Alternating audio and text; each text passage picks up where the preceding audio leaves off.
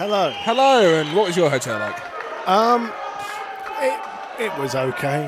Um, it was mainly somewhere to sleep after the free bar of last Ah, the night. free bar last night. Two of the greatest words in the history of civilization, free bar. Yeah.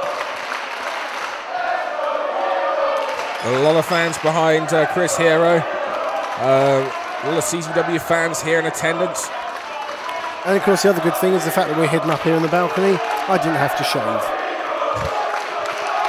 Seeing as my basin in the hotel room was uh, about the size of a kidney dish, that's quite a good thing. See, I actually stayed in a Marriott last night. Other hotels are available. I slept in Macau. And a nice series of uh, top wrist locks underneath.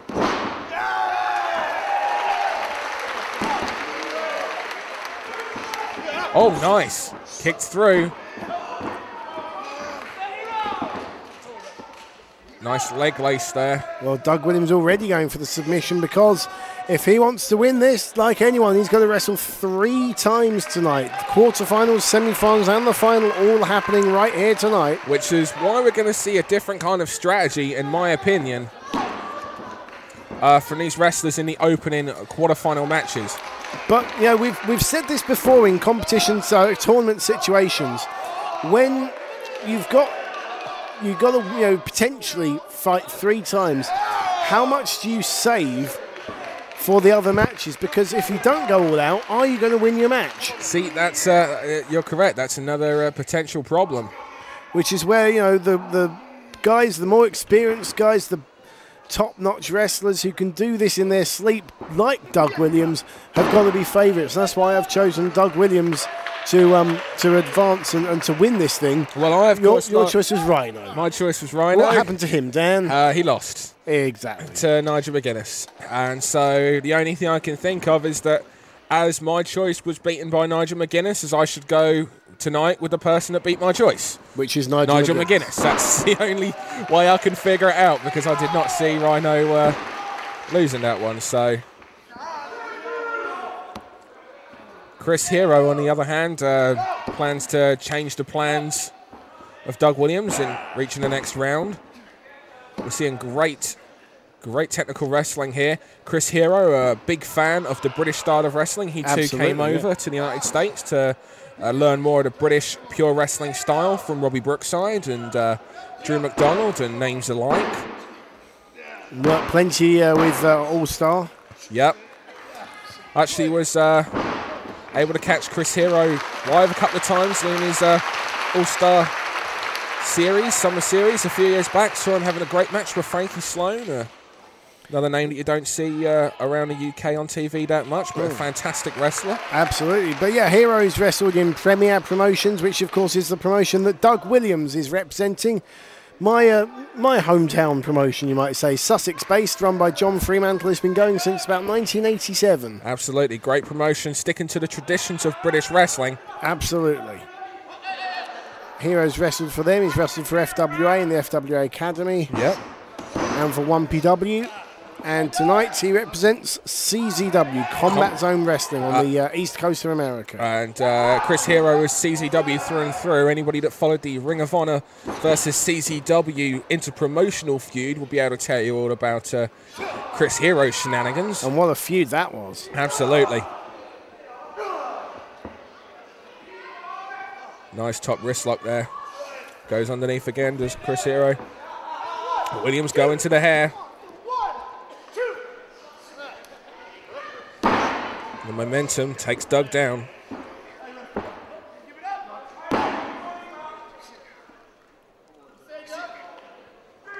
What we're seeing here is Chris Hero. Oh, rope break there, too close. But Chris Hero refusing to break it. Wait a minute, Doug. These two are so good. They're going to have counters for counters that the other one's already countered, that the other one hasn't quite figured out a counter to, but they've got it in mind as a rough idea as a counter, but they'll have already countered that by the time they've got to that counter. Lots of counters in this match. These guys know how to wrestle. More counters than Woolworths. Yep. Other stores are, Are- are available, to shop at, you know. Any news on PAC, by the way? I haven't seen him myself. Uh, PAC actually. Um, Is he in the building? Uh, he is in the building.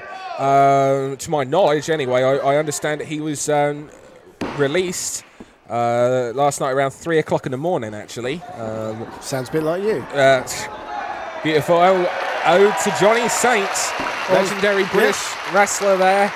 And uh, for those of you fans across the seas that have uh, not seen the traditional British wrestling style, Get some Johnny Saint tapes. yeah, you're not going to see anything. Meaning you can track down Johnny Saint uh, competing in Michinoku Pro, even if you're a big uh, Japanese fan and is uh, near the, nearing the end of his career. Johnny Saint, uh, great Johnny Saint match with Robbie Brookside is one of my all-time favourite matches with uh, Quango as the referee. Yep, Johnny Saint, one of the masters of British wrestling, chain wrestler, and counters that no one else has ever done. No. So uh, And yet, um, here we are 20, 30 years later, and everybody's still trying to uh, be like him and using Yep. his counters because he used what was what worked. Great wrestling. Hero staying on that left arm of Williams. Williams rolls through. That's uh, seen Johnny Saint do that before as well. so- Indeed. And Nigel McGuinness is someone else who, who definitely has been influenced by him. Yeah, absolutely, Johnny Saint, one of the most um, influential wrestlers of the past 30 years, without doubt. I also remember a young man by the name of Paul Birchall uh, getting some Johnny Saint tape from me once upon a time. Whatever happened to him? I don't know. It was a pirate tape. Get it? No. Hi, kid. I do. And uh,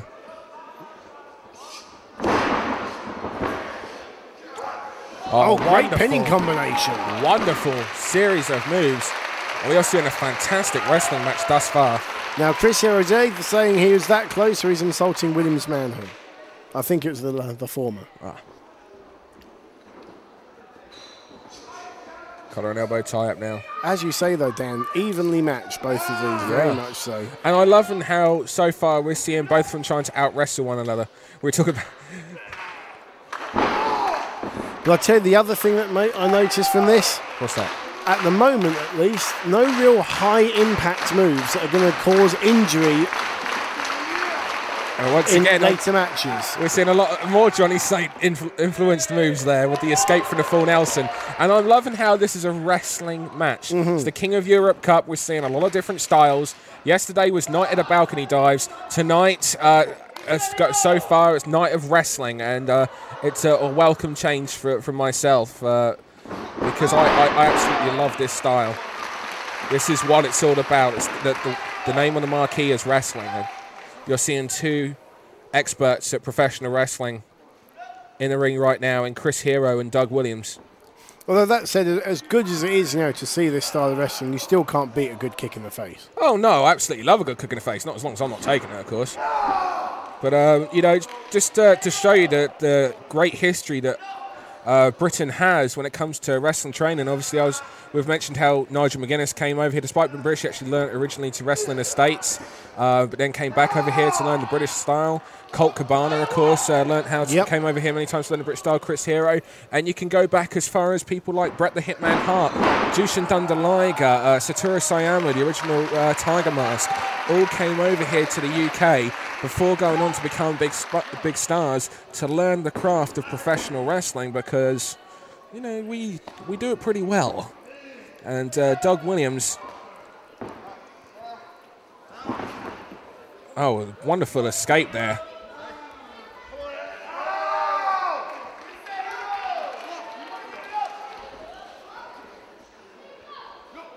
And now we're going for like a surfboard type hold here.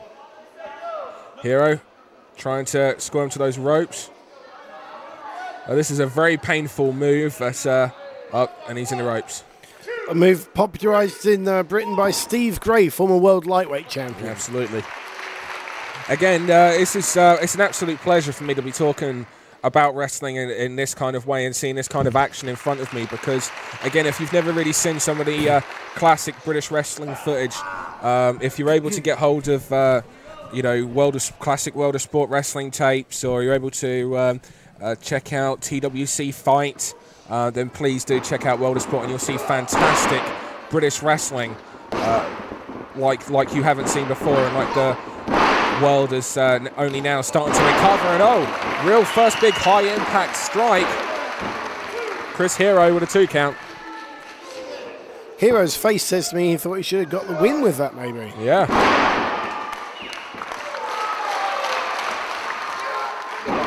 Well, that's an unusual way of doing, I guess, a Yeah.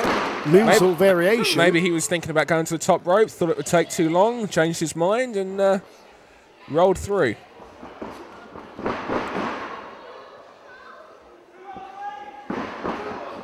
Oh, nice move there.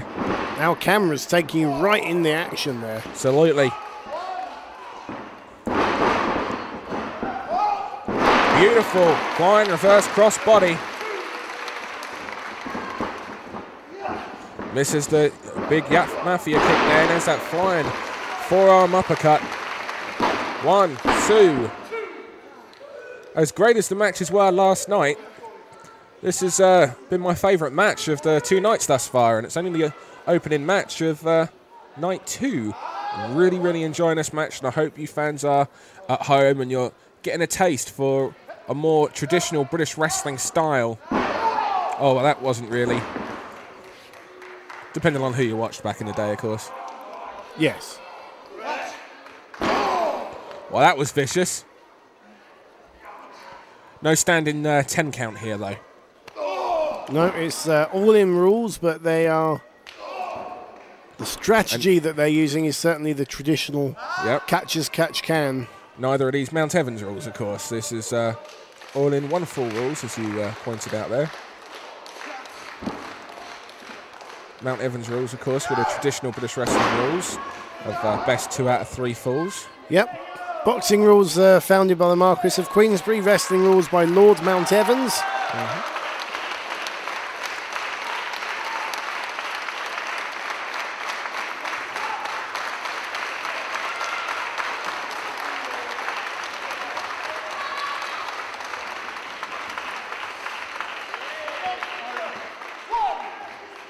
And both men now roll into the. They're tied up. Referee breaks the hold. Calls for a match to begin, and there's Doug. Doug meets uh, Chris Hero. Straight in there. No, uh, no let up for Chris Hero. We saw Doug in a, a, a great match with um, Ares last night, and uh, Doug eventually getting the win with a small package after a series of uh, attempts at the Chaos Theory. Yeah, and uh, Oh, vicious knee lift there Chris Hero defeated uh, Claudio Castagnoli. in a um, interesting match to say the least. Yes, a match where that- the ring broke. a match where the ring broke. Should we really be putting Chris Hero in the first match tonight, given what happened last night? That's a good point.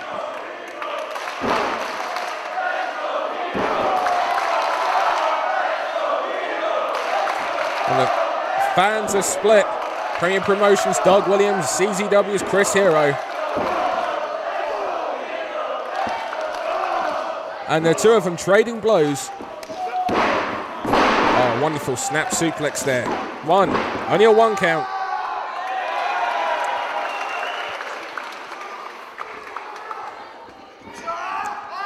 cinches in that rear choke. Oh, oh, it goes underneath and he locks the. Well, I don't see how Chris Hero's going to get out of this. Well, yeah, Oh, trying to turn Williams' shoulders uh, were down. Chris Hero trying to turn it into a pin, pinfall attempt. It's a way to try and break it. However, notice how he stands on the top of the toes. Yeah, using his full body weight and also that uh, four or five inch height Oh, advantage. nice. He was able to split the legs, roll through to a uh, variation of a jackknife pin. That's the one difference between these men is that Hero's got about four inches in height on Williams. The other difference between these men actually is the fact that Chris Hero came over here to learn the British style. Doug Williams was raised on the British style. Absolutely. And the European style. And And Doug Euro- Williams spent a number of years of his childhood living in Germany. Absolutely. Diving headbutt straight to the sternum. One, two, no, it's the forearm across the jaw.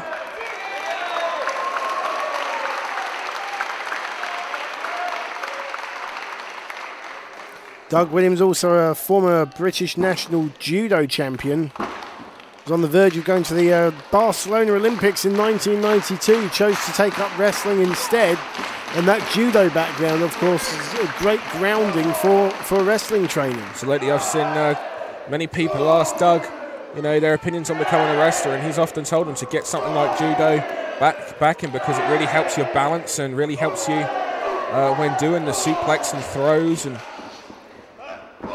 Of course, if you want to go back, because uh, oh, backslide attempt now. I mean, Bad News Allen, who, who passed away recently. Here's a judo uh, Olympic bronze medalist. And if you want to look uh, further uh, back into uh, the judo play in the world of British wrestling, look no further than Judo Al Hayes. Mm-hmm. So, uh, big back body dropped. Oh, and Williams landed on his side, not flat on his back there. That'll take the wind out of him. That could end up breaking your arm, too. And Chris Hero fired up now. Chris Hero, now the man on the offense, and an Irish whip into those ropes. Boot to the midsection. Maybe he's going for that spinning neckbreaker. No, big kick.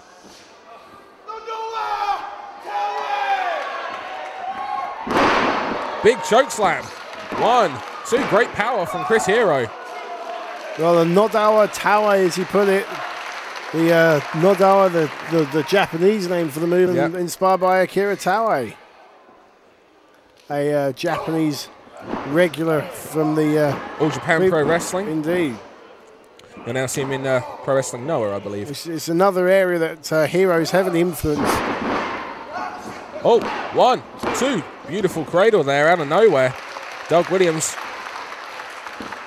A bit of a different approach in this match as opposed from. Uh, oh, and we know this. Again, many uh, fans of British wrestling will will know this series of holes. It's uh, a famous uh, series by uh, Johnny Saint again. Yeah, and uh, and just some, a two count. Some people may have seen uh, Nigel McGuinness do this, known as the Artful Dodger, small package. Oh, oh gets it! And Williams for the second match running gets a small package pretty much out of nowhere.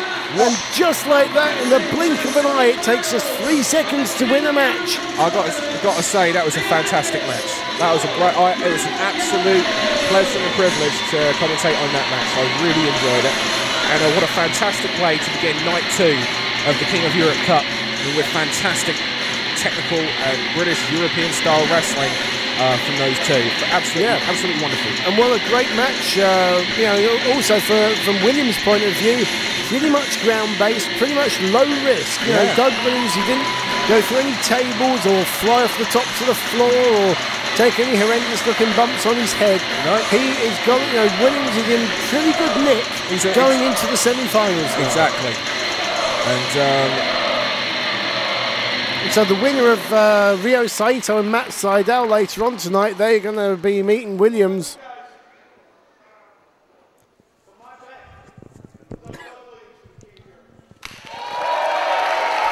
Well, Chris Hero agreeing with me and saying Williams to win the whole thing.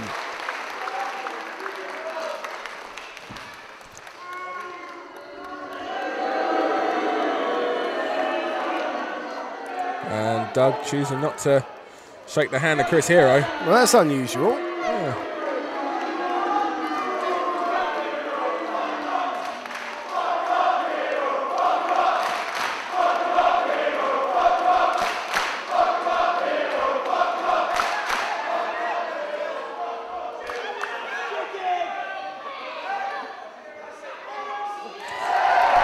And he's picking up the lingo as well. Yeah. Well, strange that, you know, such a sporting contest is somewhat... Unsporting finish. Yeah. From, from Duggable people.